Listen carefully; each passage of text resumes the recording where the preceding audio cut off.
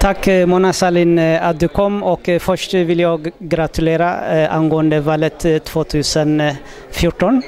Och vi är från Eritreans förening som sänder från lokala TV, öppna kanalen. Och jag tackar för dig för stödet för de här politiskt fängslade i Eritrea.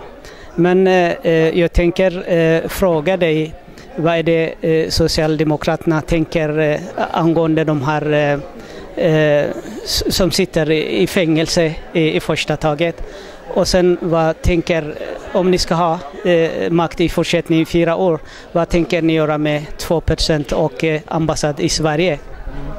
Eh, tack så mycket för stödet och jag är väldigt glad över att vara här idag. Det är viktigt att kämpa för mänskliga rättigheter och för de som är fängslade i Eritrea. Ehm, jag är ju inte ledare för socialdemokratin längre, men jag är väldigt engagerad.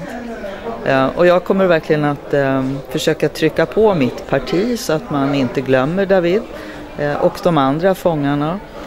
Att det pågår mycket tyst diplomati som det heter, men jag vet inte exakt vad. Och kan en socialdemokratisk regering vara mer aktiv så kommer jag försöka vara med och göra det. Eh, och jag hoppas också att debatten om 2% skatten, den har jag lärt mig mycket idag. Och det tänker jag fråga mitt parti mycket, mycket seriöst nu. Varför man inte har agerat mer mot den och vad man kan göra. Kanada är ett exempel tydligen på vad man kan agera.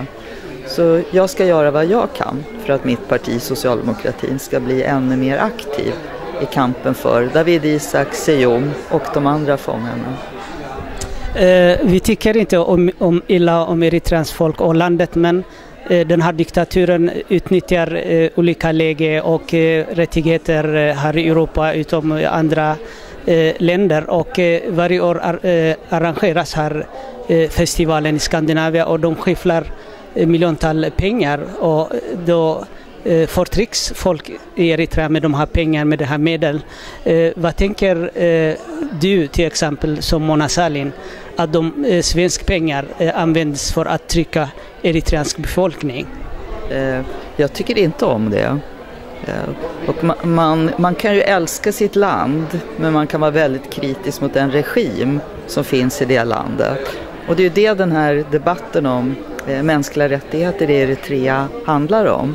Och om det finns saker Sverige kan göra för att hindra pengar att stödja diktaturen, då tycker jag vi har en skyldighet till det. Så att jag ska lyssna mer med mitt parti, som jag sa, om vi kan vara tydligare med att hindra resurser att gå från Sverige för att stödja eh, diktaturen. Sverige ska stödja demokratin på alla sätt och inte diktaturen.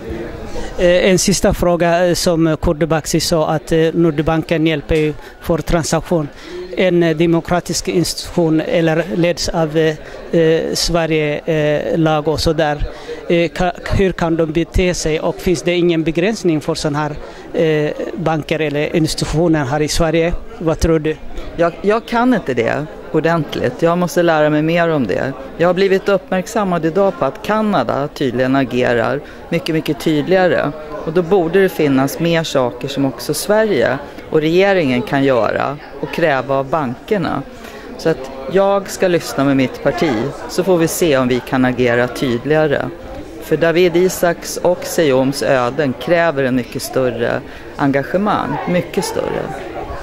Tack för att du bryr oss om oss eritreaner och de här, dessa fångarna.